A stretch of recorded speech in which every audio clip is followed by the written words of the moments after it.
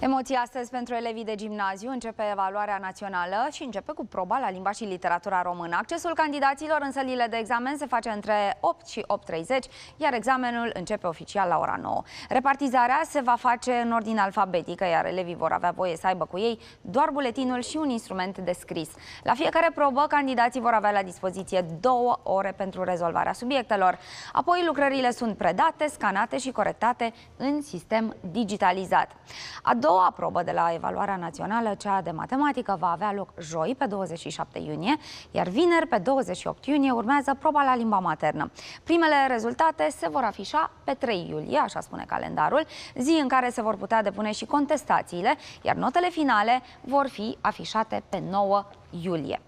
La examenul din acest an s-au înscris peste 160.000 de elevi, trebuie să știți asta, absolvenți de clasa 8 -a. E cel mai mare număr de elevi din 2019 până în prezent, asta potrivit datelor uh, oficiale apărute pe edupedu.ro.